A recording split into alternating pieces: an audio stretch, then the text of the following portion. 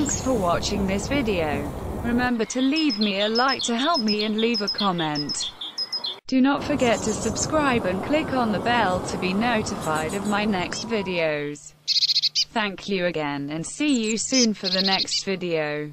Merci d'avoir regardé cette vidéo. Pensez à me laisser un like, un pouce bleu en l'air pour m'encourager et bien sûr à mettre un commentaire sous cette vidéo.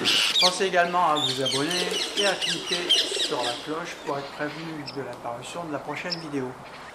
Encore merci et à bientôt pour la prochaine vidéo.